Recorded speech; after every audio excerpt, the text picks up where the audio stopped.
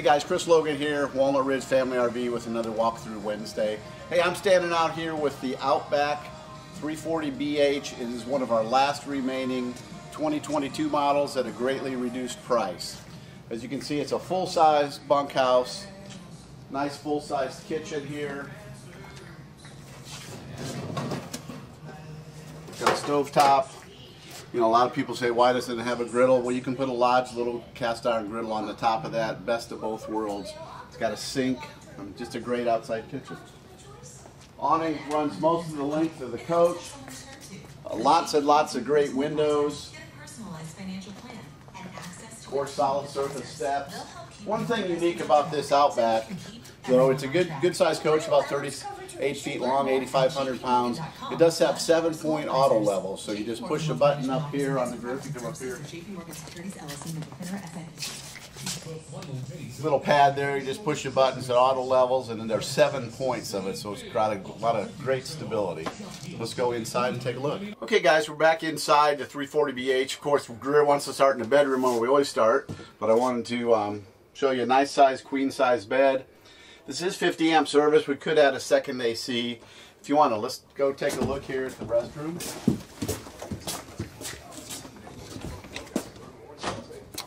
If you take a look in there, we've got a full-size shower, I like to call it a real shower. So you can stand up easily in there, a tall person.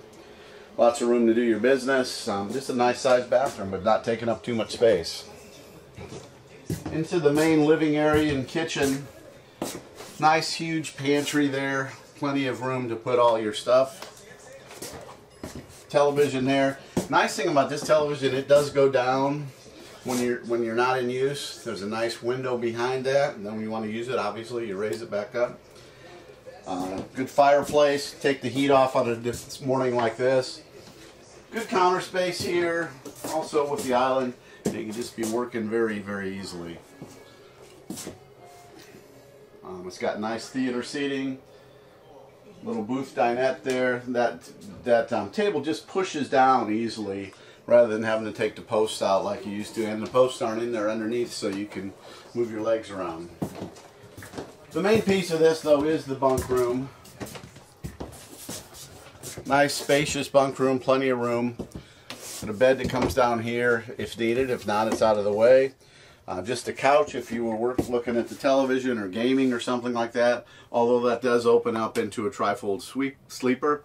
Uh, good sized bed up here, 300 pounds is the capacity, so here we are again with one of the last remaining 2022s at our inventory clearance sale. Um, come out and take a look at it or give us a call. Thanks.